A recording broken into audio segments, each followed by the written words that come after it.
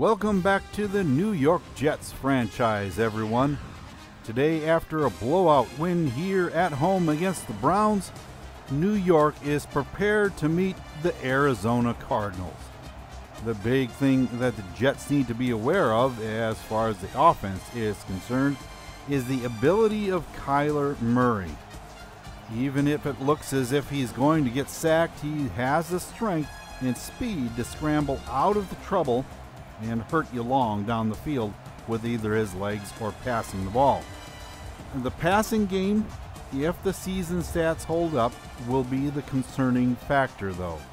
I would think that running the ball may be a little more problematic this week for the Jets, since along with Takk McKinley, the Cards were able to pick up J.J. Watt in free agency. Arizona has benefited this season from his presence since a lot of teams are running away from his direction. The only problem is, Takk is on the other side, waiting for someone to try running to his side of the field. Then you have former Jet CJ Mosley in the middle of the field, having an amazing season thus far, and you can see why some analysts scratch their head when they think of the Cards as a 4 and 16. Can the Jets stay focused on the game at hand and come away with a win here in Week 12? Let's find out as we get set for the Jets and the Cardinals on the Football Freaks Sports Network. Trent Lyon is ready for the Jets and gets us started here in MetLife Stadium. Keke Coutee takes the knee in the end zone and it comes out to the 25 yard line. Kyler Murray six interceptions, 16 touchdowns. Is having a good year, just not a fantastic performance, I would say. But here is on first down. He keeps it himself, and he's out to the 29 for a four yard gain. That brings us to the starting lineup for the Cardinals offense. You see there Connor McGovern on there twice for the offensive line. That is not a misprint.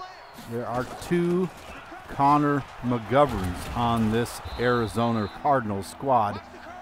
And now on third down, less than a yard to go.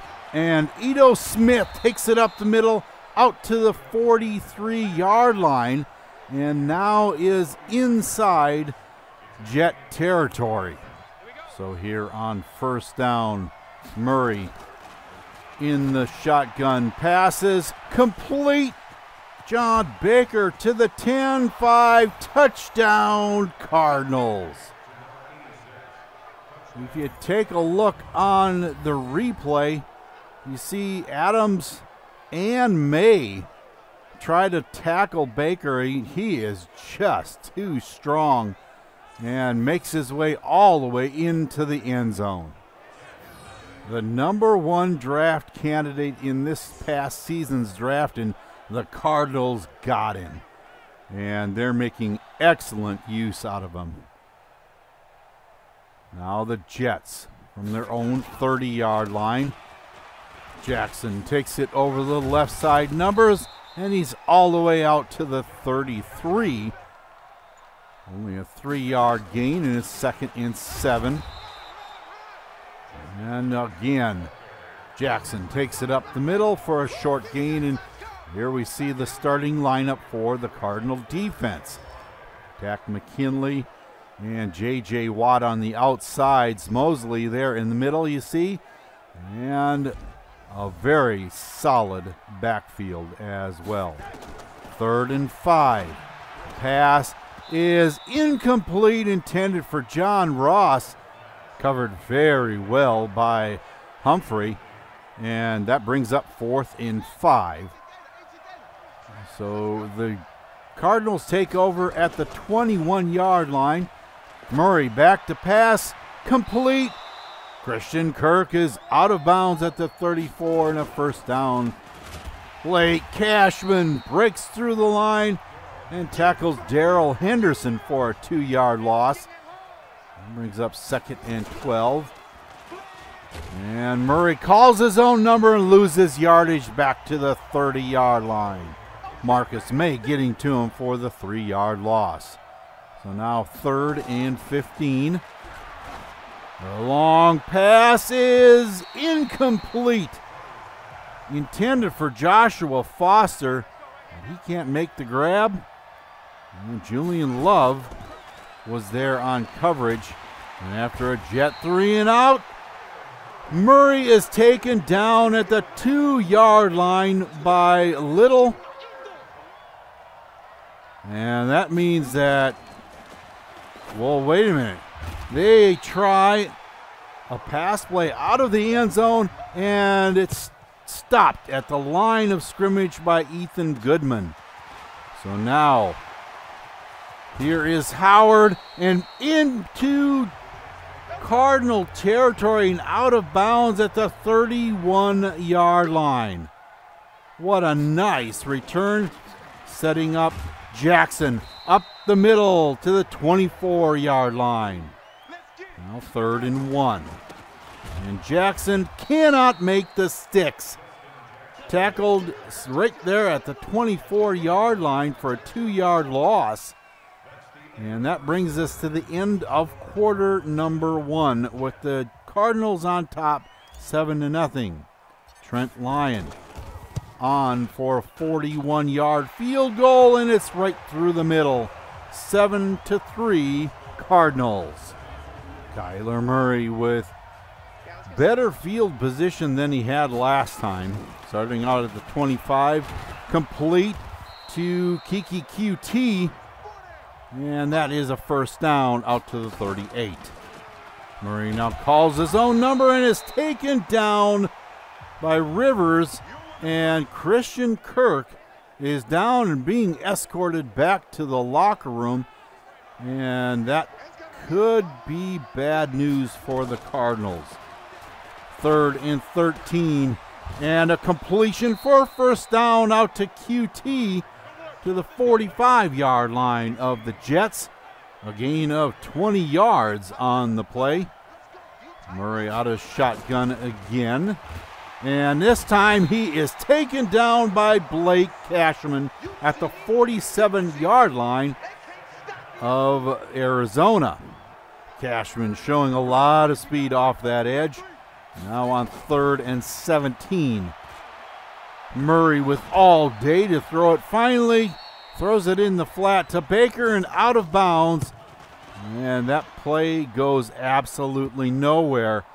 Bryan Anger on the punt drops it inside the five and out of bounds just outside the goal line. So the Jets start out deep in their own territory. Jackson muscles it out to the five yard line. Pass play is stopped in the end zone for a safety. The Jets try a screen pass out of the end zone and can't get it out of the end zone. Tackled by Ray Scott. That gives the Cardinals two points, but they can't make a go of it after the free kick. So on the first down pass, it goes out to John Ross and he is gone. 10 5 touchdown Jets. 77 yards on the slant pass pattern. Ross shows off some of that 99 speed and leaves Humphrey in the dust. Nobody else can catch him, and it's all the way to pay dirt. The Jets now take a one point lead in the game, 10 to 9. Murray back to pass, throws quick, and is tackled by Julian Love out to Joshua Foster. Now third and 10. The pass is caught by Ito Smith up the sideline, and there's a flag on the play roughing the passer call against Coco Sheffield. And that gives the Cardinals a first down. And that is completion to Coutee out to the 36. Second and five. The throw over the middle, and it's a touchdown to Joshua Foster. Celebrating in the end zone with Keke Coutee. He just he gets behind the defense. Julian Love tries to catch up to him, just can't do it, and it's all the way to the end zone. Just that fast, the Cardinals take control of the scoreboard. 16 to 10 is your score now. And Howard takes it to the left side. And he is out in the open. Is anybody going to catch him? He's gone the distance. Touchdown, Jets. That is his second kickoff return for a touchdown this season. He's had punt returns uh, that went for a touchdown, but this is only his second kickoff return. And the point after is blocked. So it's tied up the game now, 16 all. Zachary Brown, the one that got in there and blocked the point after. And now the Cardinals take over at their own 27 yard line. Second and eight, and over the middle, it's complete to Smith. Now third and three. The pass is completed to Coutee and all the way to the 30 yard line. And I'll tell you, if Ethan Goodman wasn't as fast as he is, Coutee goes all the way to the house. And a wide open John Baker takes it the distance. Celebrating in the end zone with Foster. This is the reason why the Cardinals are so big on this kid.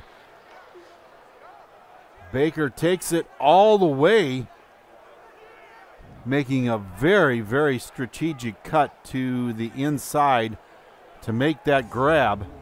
And the score is now 23 to 16. Over the middle, incomplete to Terry McLaurin. And here on second and 10, Darnold back to pass, throws long. John Ross, all the way touchdown, Jets. 5,000 yards in his career thus far. If you take a look on the replay, Budda Baker tries to hang in there with John Ross, but he is just not fast enough. Once Ross gets behind the defense, it's see you later and good night. That ties up the ball game and brings us to halftime where the Jets will open up the second half with the ball. But it's been all passing. Now, for an update, let's go to Eurocat Baby. Well, we thought that last week's 24 0 halftime score was outstanding. But this week, both teams are getting in on the action. A game that's been dominated by the passing attack and special teams has created a 23 23 tie here at the break. In other news, the Jets were thrilled when free safety Marcus Maye was named as the AFC Defensive Player of the Week, and he's keeping with that same kind of performance, being a very disruptive force here in this game. Something that Cardinals fans won't want to hear, though, is that wide receiver Christian Kirk, who happens to be Arizona's number one receiver, has been diagnosed with a torn shoulder muscle and will be out for a minimum of five weeks in therapy. That means backup Keke Coutee will be filling in for him in that role. As we return to this game, what adjustments will be made by the Jets in order to get this running game going? It's only produced 19 yards in the first half, so New York needs to improve that part of the game. Stay tuned to find out if the changes made work as the second half is coming right up. Welcome back, everyone, to MetLife Stadium for second half coverage of our game between the Jets and the Cardinals. Both teams have had trouble getting their running attack going, will that be a problem going forward. Each team is finding other ways to score points, so as this game unfolds, will either team be able to make the needed adjustments to get their running games established? Let's find out as we start the second half. Rob Campbell gets set to send it deep for the Cardinals. And Howard takes it inside his own end zone and takes it all the way out to the 40 to the 50 yard line. And out of bounds, just a little bit more speed, and he would have been gone the distance. Now on second and seven. Darnold back to pass, completes it to Arsenault. And does he have the first down? Yes, they gave it to him at the 40 yard line. Jackson takes it up the middle to the 29. And another first down for the Jets. The give this time is to Jacobs. He makes it around the end and stays in bounds to go down to the 23 where it's third and four. Arsenault catching it underneath and going for the first down all the way down to the 14. Darnold on the screen pass out to Jacobs down to the one. Baker stood between him and the goal line and Baker won that one. Trevon Wesco takes it the rest of the way, and the team celebrates in the end zone. 30 to 23 is your score. The Jets are on top. Murray from the shotgun completes it. Rookie Kayvon Fisher, very strong running after the catch, all the way to the 44 yard line. And Murray calls his own number into Jet territory, tackled at the 48. Second and three. Throws deep, and it's caught. Joshua Fisher finally brought down by Julian Love at the 10 yard line. Now the Cardinals come out in a double I back formation. Henderson goes in motion and over on the right side, he catches a touchdown, Cardinals. One thing is for sure when Kyler Murray gets on a roll, he can drive the field in no time at all. Now, the Jets start out from the 27. Darnold over in the middle to McLaurin and he's to the 36 yard line. A nine yard pickup. Second and one. Jackson up the middle. First down to the 40 yard line. The rushing game opening up just a little bit for the Jets. That one is completed to Rig Howard for a six yard gain. Third and four. The completion to Arsenault to the midfield stripe and not enough for the first down. The fourth and one. Olson has to punt and drops at the three and is down at the 11, but the Cardinals can't do anything with it. Punt is away. Howard fields it and makes a cut and is all the way down to the 30 yard line of Arizona. What a day this kid is having. Pass to McLaurin to the 24 yard line. Third and three. Darnold throws incomplete. Trent Lyon comes on for a 40 yard field goal, and it's up and right through the middle. That gives the Jets the lead 33 to 30. Now Murray and company from the 25. And Blake Cashman gets in there for a second sack of the afternoon. A six yard loss. Now third and 10. And Smith is stopped by Chris Gonzalez from getting the first down a long way from the markers. And the Jets can't do anything with it. Go three and out. The pass is to Foster, and he gets a seven yard gain. Third and three. Ito Smith is stopped by Adams and Cashman in the backfield. And that brings out the punting team to Howard again. He heads left, makes a cut, and is all the way down to the 45. Not quite the 30 yard line, but still outstanding field position for the Jets. Darnold throws the screen pass, and Jackson makes a cut, has the first down to the 35. Another pass to Jackson, and that one is complete, but only a four yard gain. Scott makes a tackle on Jackson in the backfield and bringing up third and 12. Another screen pass, and out in the open is Jackson and out of bounds at the 23. They have to start looking now at staying in bounds, but um, that one he had not much of a choice on. Jackson up the middle for a nine yard gain. Second and inches from the 14. He takes it down to the four. First and goal with the two minute warning here. 33 to 30. And the Jets knocking on the door. And into the end zone goes Trevon Wesco for his second rushing touchdown of the afternoon. And that takes us to 40 to 30 in favor of the Jets.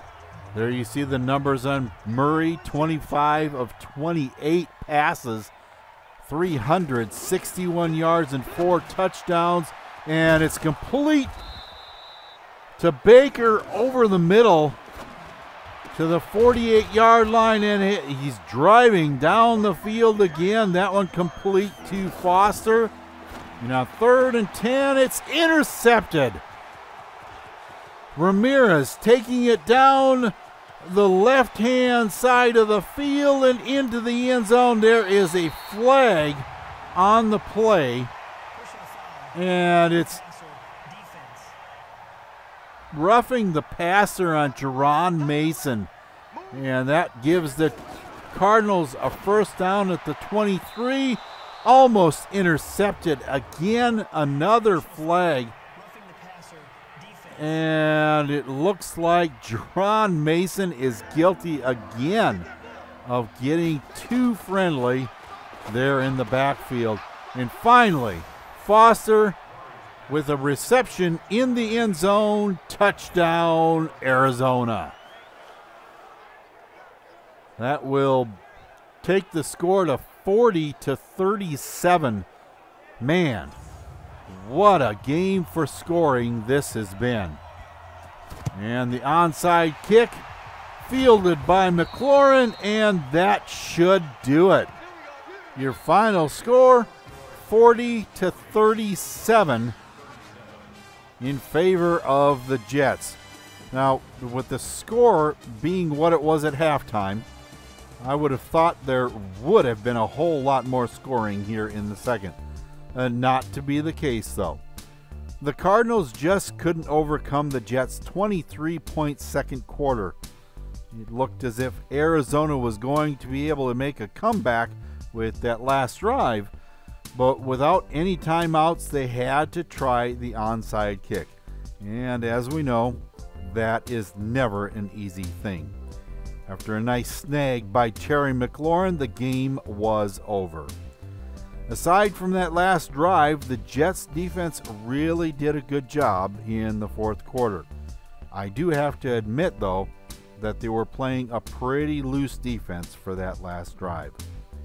Both quarterbacks completed 75% of their passes, but Arizona went the way of the pass by way of over 400 yards through the air from Murray, while New York was able to establish a little bit of a running effort in the second half.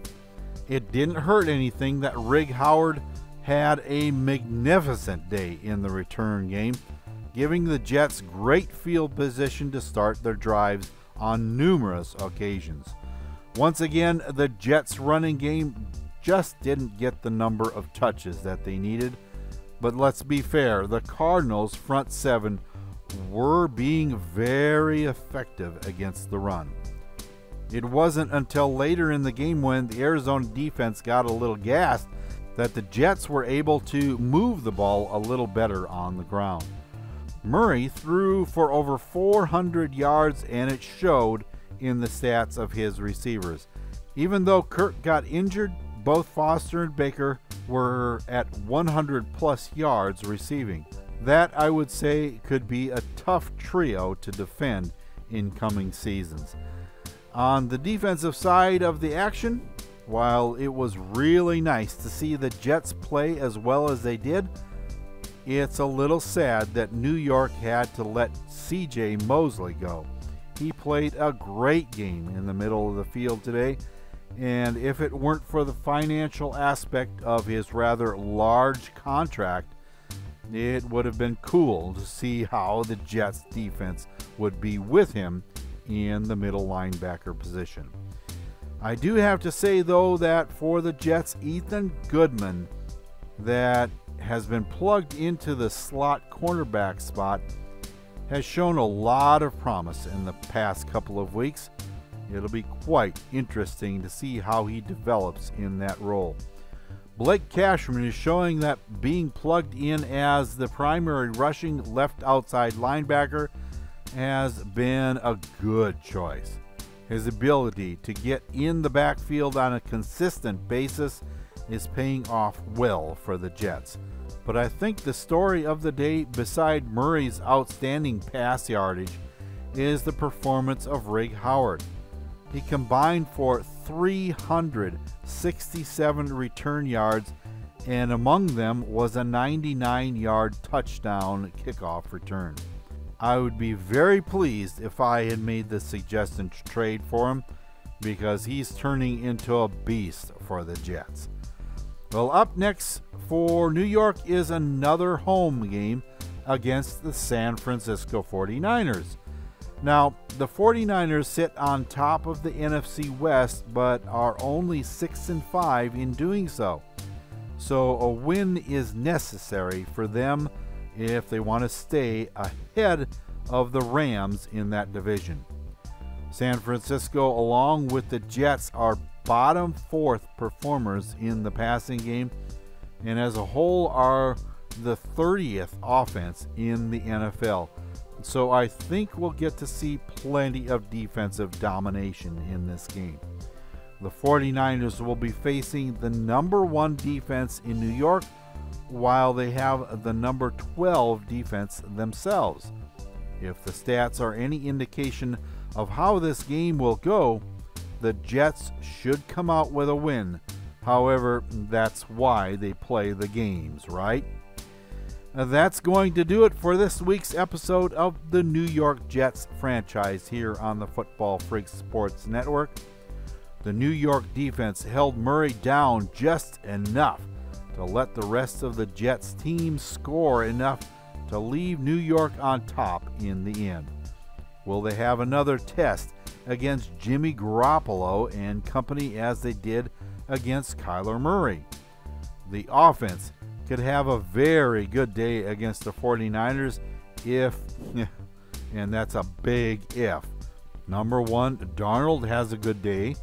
And number two, uh, they can do a little better job of establishing the run than they did today against a very good Cardinal rush defense. Will we see a defensive battle next week that gets the Jets a little closer to taking the lead in the AFC East? Or will the 49ers be able to remain on top of the NFC West? Be with us to find out when San Francisco and New York meet. And until we see you back here in MetLife Stadium, for Eurocat Baby and the rest of the crew, This is Husker Eurocat saying so long for now and have a good day, everyone.